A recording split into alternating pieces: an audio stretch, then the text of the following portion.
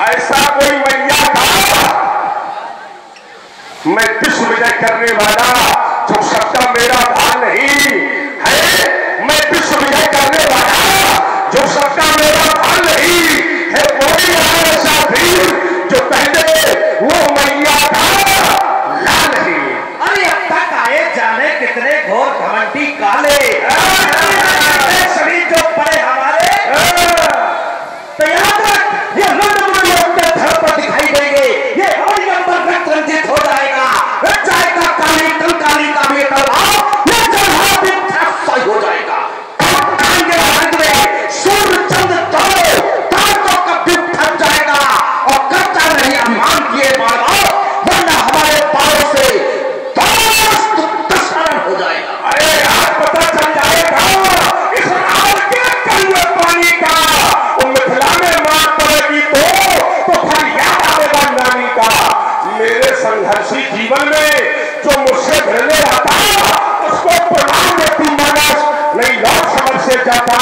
बीबी मेरे सन्मुख आए नहीं, मैंने लल्ला छोड़ा है।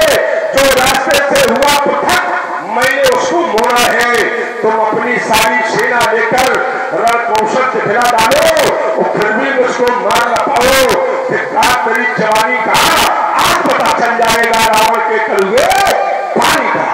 नानी का घर याद आ गया, क्योंकि नानी के घर में रहते रहे तो नानी की है अपने पिता के घर में रहे होते तो पिता की याद आती बाबा तो लिए कह रहे हैं। तभी तो नानी की बात हम समझ रहे हमारे लिए कह रहे हैं। हाँ। नानी की काहे कह रहे हैं। अरे दादी की कह देते।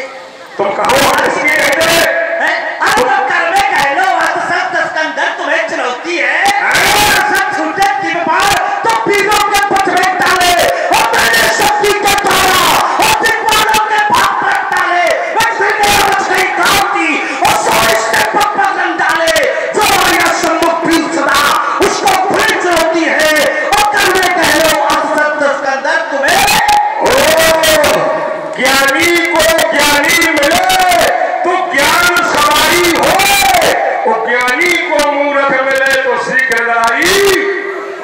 मेरे रहते का अपमान नहीं कर सकते हो। समाज के अंदर अरमान नहीं भर सकते हो। अरमान छोड़ दो बड़ा शोर। मिथिला महोत्सव में ये सारी जनता देखेगी। वो कभी नहीं भय खाता है। जो स्वच्छंद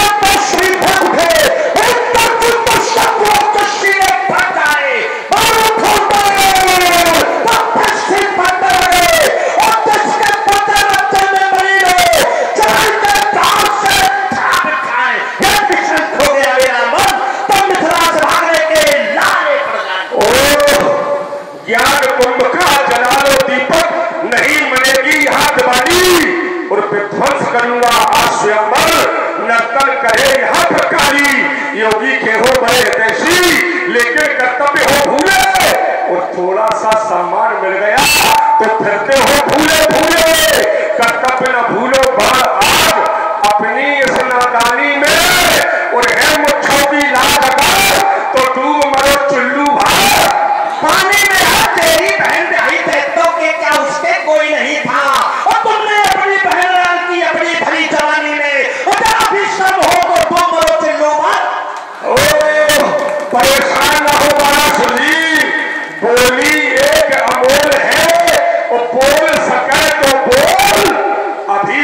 चल जाएगा कि घोल के अंदर? बहुत विद्वान लोग बैठे हैं यहाँ। हाँ केवल आधी बात बोलनी है आधी तो खुद पूरी हो जाती है परेशान हो, पूरा खेल मिथिला में केवल इतनी आवश्यकता है, बाकी तो लोग स्वयं यहाँ बुद्धिमान हैं।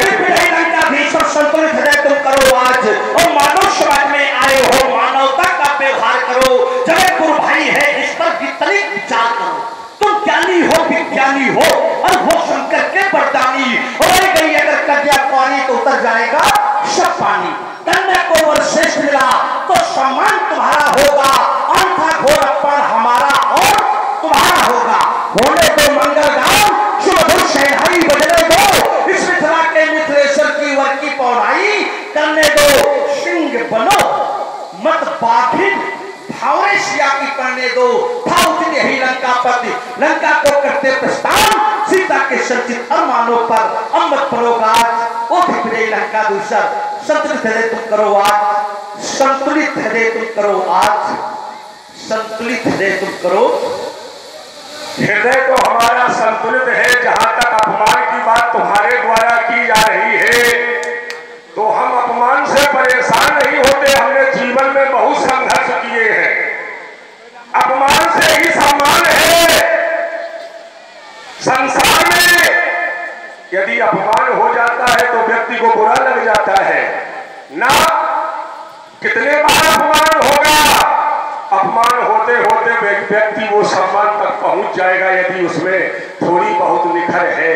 इसलिए समय समाज और साहित्य समय को देख करके समाज की ओर दृष्टि डालकर जो साहित्यिक प्रस्तुति करे वही विद्वान मैं चाहता हूँ बड़ो लक्ष्य की ओर भगवान शंकर का निश्चित रूप से एक बात से मैं आश्वस्त करना चाहता हूँ जीवन में इस बाणासुर ने कभी किसी का अपमान किए नहीं। नहीं अभी धारा कह रही थी अब नहीं हम बिल्कुल नहीं।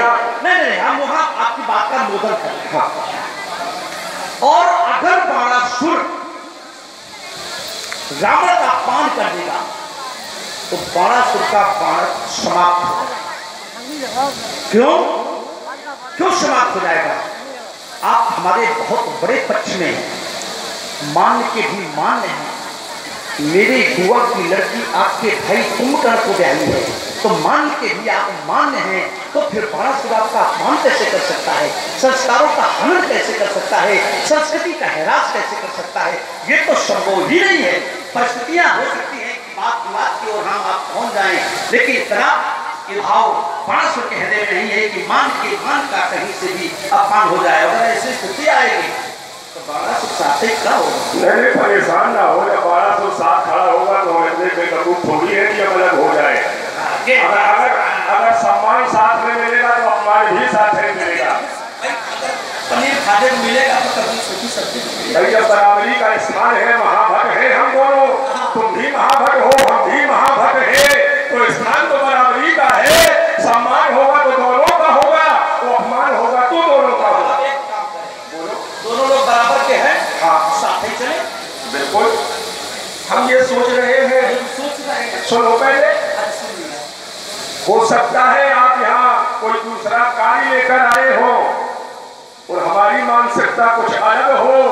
वैसे तो हम साथ जानने से डरते नहीं है। नहीं डरने की बात नहीं है। ना कोई साथ आया है ना कोई साथ जा पाता है। भले ही व्यक्ति की ये सोच हो कि चलो हम साथ चले और समय एक ही व्यक्ति के जाने का हो तो दो ना जा पाए। और कहो दोनों व्यक्ति का समय जुट जाए तो दोनों चले जाए हम भगवान भोलेनाथ से ये प्रार्थना करेंगे कि आप हमसे पहले जाए हम आपके पीछे पीछे। नहीं हमारी प्रार्थना भगवान शंकर ज़्यादा सुनेंगे इसलिए मुझसा पंडित मुझसा योद्धा संसार में नहीं कोई दूजा है और मैंने शीशों को काट काट श्री शंकर जी को पूजा है पूजा है तो हमने इस प्रकार से भगवान शंकर की पूजा की पूजे अमित बार त्रिपुरारी हो सकता है आपकी पूजा आराधना में कोई कमी हो तो पहले आपको जाना पड़ेगा हमारी पूजा तो हो सकता है कि आपकी पूजा से न्यून हो लेकिन जो राजा जनक है इनकी पूजा आपसे शेष है। हाँ हम मानते हैं। मानते हो? हाँ, अब मेरी बात पूरी? हाँ। और आपकी भी बात पूरी। हाँ। हमने तो भगवान प्रार्थना भगवान से तो ये करना है कि आप हमसे जल्दी जाओ। और भगवान करे कि आप में न जाओ। परिवार भी आपके साथ ही चले। बिल्कुल है ना? आप अकेले न जाए पूरा परिवार भी आपके साथ जाए। देखो, ऐसा है। मानस जी, जब हमारा परिवार यहाँ है ही नहीं देव दनुज धरी मनुज शरीरा यहाँ सब आज मानव रूप धारण करके आए हैं तो परिवार का तो यहाँ प्रश्न ही नहीं खड़ा होता है यहाँ से जाने की हम बात थोड़ा कर रहे हैं हम तो मिथिलाई की बात तुम चाहे जहाँ बोलो छोड़ रहे हो। तुम चाहे जहाँ बोलो हम मिथिलाई में बोलेंगे अच्छा पंडित जी हाँ बोलो जी अब निवेदन है मैं जाना चाहता हूँ। हमने अब कहा क्यों जाना चाहते हैं? हाँ। क्योंकि जब तक हम रहेंगे। यहाँ से जाना चाहते हो कि सदैव से? सदैव सदैव से तो आपके पीछे से जाएँगे। अच्छा अच्छा। ऐसा क्यों? भले आपके पहले आए हो लेकिन जाएँगे आपके बाद। अच्छा। है ना? वैसे नियम यही होना चाहिए तो पहले आ संसार का नियम बड़ा उल्टा। हाँ उल्टा है नियम। कौ कहो बाद में आने वाला पहले चला जाए पहले आने वाला कौ बाद में जाए ये संसार की व्यवस्था बड़ी हाँ संसार के नियम भले ही हाँ, उल्टे सीधे पड़े हैं मानव के ऊपर आज मानव चढ़े हैं बस यही बात है ये नियम ही उल्टे हैं हमें नियम क्या- उल्टे हैं हमें क्या- तो मानव पर मानव चढ़ाई कर दे कि हम तुम्हें नहीं छोड़ेंगे नहीं छोड़ेंगे ये नियम है उल्टा बस हमें कष्ट केवल और एक आपसे हो गया बोलो। बात सुनने के बाद हमसे कि जीवन में- संसार का बड़ा उल्टा नियम है हाँ। और उसी में कोई पहले आया है और बाद में जाता कोई बाद में आया पहले जाता लेकिन आप काहे को मांग ले कि हम कहो के मरे ना है। अरे जब जानते कि आने वाला जाता ही है तो ये बस मांग लेते भगवान भोलेनाथ से कि संसार का नियम बता दो। जो पहले आया है वो पहले जाएगा ऐसा बाद में आया है वो वरदान किसी के कहने से नहीं मांगा जाता है। व्यक्ति स्वतंत्र होता है। और स्वतंत्र होने वाला व्यक्ति कुछ भी मांग सकता है। हम हम यदि ये कहते कि संसार का नियम बदल दो तो हो सकता है जो हमारी मानसिकता है वो पूर्ण ना हो पाती। इसलिए नियम नहीं बदलना चाहिए। लेकिन मैं सोच रहा हूँ कि कुछ अब परिस्थितियाँ बदल रही हैं। बस बस बिल्कुल बंद है। हम वही पहुँच रहे हैं। अब कुछ परिस्थितियाँ बदल रही हैं। हाँ। हो सकता है यही यहाँ से उसकी शुरुआत हो जाए। हाँ। कि पिता के रहते पुत्र नहीं मरेगा। अब पिता लोग समझ गए होंगे। हाँ।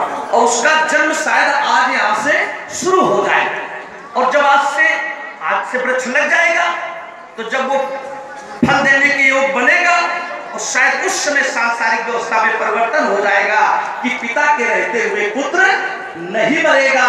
अर्थात पिता को कंधा बेटा ज़रूर देगा। ये समय की बात है। हाँ बस। समय समय के लोग सब समय समय की बात वो किसी समय का दिल बना तो किसी समय की बस केवल इतनी बात है।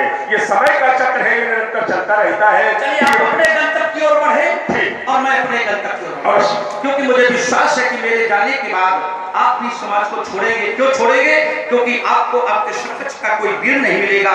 और जब कोई वीर नहीं होगा तो आप निश्चित रूप से समाज को छोड़ेंगे। तो बैठे हुए प्रिय भक्तगण ईश्वर की कृपा से अगर हाथ मिले हैं तो दोनों हाथ ऊपर कर लो। एक बार जरा जय घोष